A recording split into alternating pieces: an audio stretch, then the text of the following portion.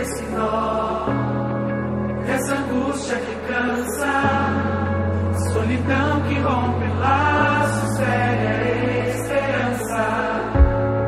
O que fazer desse nó?